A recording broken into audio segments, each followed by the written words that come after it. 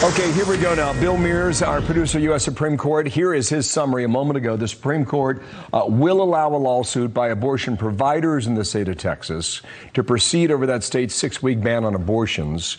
Uh, but the court will also allow the law to continue to be enforced while the case continues in litigation. So it's not been decided ultimately. It is a split ruling that does not deal with the constitutionality of the Texas law.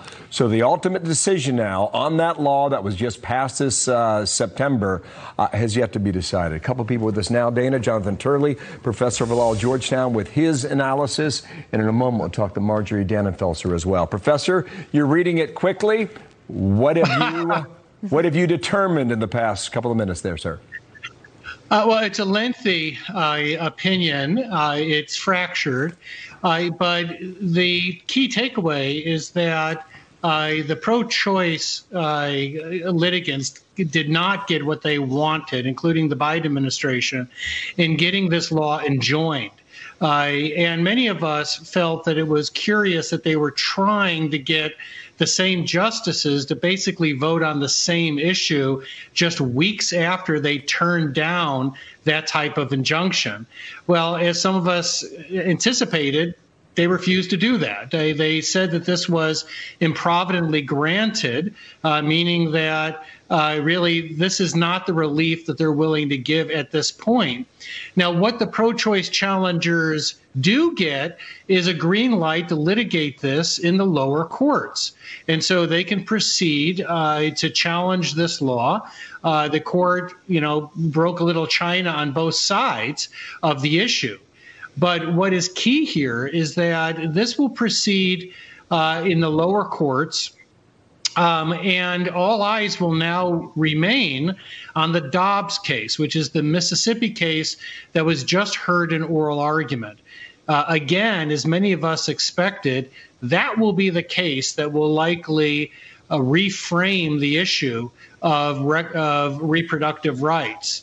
Uh, and so Texas goes back to Texas, but Mississippi obviously remains in the Supreme Court. I want to bring in Marjorie. Uh, we introduced you a moment ago. When we haven't had a chance to talk to you uh, since this all uh, has gone down in terms of the, the Supreme Court hearing the Dobbs case, that's the Mississippi case. But now this out, of, out of Texas. Um, so you represent Susan B. Anthony List. When your members ask you today what to make of all of this, what did the Supreme Court just say about the Texas law? How would you explain it?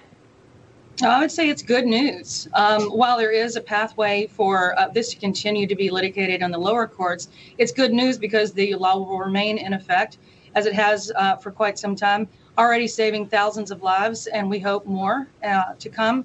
And, uh, and it is certainly true that um, when all eyes remain on Dobbs, which will, we hope, make this a moot point. The reason that there is this curious enforcement mechanism is born of frustration out of years, decades of not having any pro life protection enforced uh, that had any degree of ambition in any state.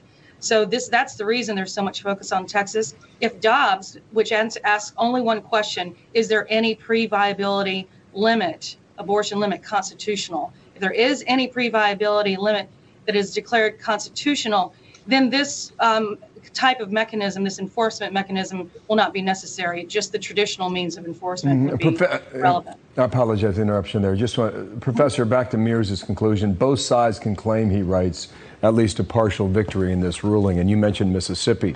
Uh, Mississippi's at 15 weeks, that law. Texas is at six. Uh, Professor, mm-hmm. do you believe that absent the Mississippi judgment here, that um, it prevented the justices from ultimately ruling on the Texas law?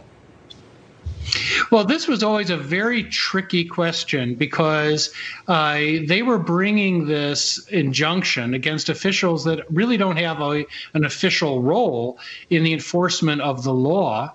And the Supreme Court had a, an oral uh, argument on this issue, whether they can enjoin. And the, some of the justices says, look, we enjoin people, not laws. You don't just come to us and name anybody that you can come up with. Uh, and so there was this really procedural question that was looming, and it clearly uh, still carried the day with the majority of the justices. But I also think that these justices believe that they've got an abortion case. It's called Dobbs, and that's going to clarify a lot of these questions. And so they're going to put Texas back on this slow track, and they're going to resolve Dobbs. And the question for Dobbs is not simply whether Roe will be reversed. A lot of people feel that's probably unlikely but whether the court is going to dramatically change and reduce the reach of Roe. Uh, and this goes to that pre viability question. Uh, Mississippi set an earlier date of about 15 weeks. That's around the time in, in you go back to some of the early laws that was called the quickening, when a woman could feel the first movements of mm-hmm. a pregnancy. And the question is whether the court's going to latch on to that and say, you know what, we're going to do away with a lot of Roe and Casey. We're going to give states a lot more leeway, uh, but we're still going to guarantee abortion as a constitutional right. It's just that we're going to be enhancing the authority of states to legislate. Marjorie, I wanted to ask you one other question, um, and then we'll get back to other news. I, as all of this is happening on the merits, right, the laws are being heard by the justices, there's this parallel conversation happening about the politics of it all. With Democrats and pro choice uh, people saying that there will be a huge revolution in America if Roe v. Wade is overturned or if this Texas bill is allowed to go into effect. Is, do, you, do you think that that is a real possibility? Uh, I know that you don't necessarily care as much about the politics. You care about uh, the issue that you uh, is near and dear to your heart and to the, the heart of your members. What about that political question as we all sit and wait for the Supreme Court to rule? Well, certainly politics has led to this place because we had to have a Senate and a president that would nominate, a Senate that would confirm, justices that would hear a case just like this that would test the viability question. In my opinion, and the opinion of jurists that I speak with, um, every day that there's a high probability that Roe would be overturned because the to say yes to the question is any pre-viability limit constitutional is to eviscerate Roe versus Wade because of the viability test and to come up with some quickening or ancient other test mm-hmm. uh, is arbitrary, just as arbitrary as what's currently um, in in uh, Supreme Court uh, uh parlance. So yes, I think the politics of this is vitally important because right it, because if this happens, the question will be returned to the states to allow the democratic process to unfold. Each state has its consensus, and that consensus would be allowed to make its way into the law, and the and the Congress the same. Understood. So it's exactly how it should work, and what and what has been prevented for 48 years, and why we've had such polarization on this issue for so long. I just want to squeeze one more into Jonathan. Uh, th- this came quickly on Texas. We expected it quickly. W- when would you expect Mississippi to be ruled on? Well, that's going to take a while. We're going to go into next year. I think that it's going to be likely a fractured decision, and that can delay it even further. So we're talking months. Uh, in the meantime, Texas can proceed, although one court obviously has already ruled that that law is unconstitutional. But the court is going back to a single track, and that track originates in Mississippi, not Texas. Right. Okay, thank you very much. months. Uh, thank you for the quick turnaround and the hustle. We appreciate it.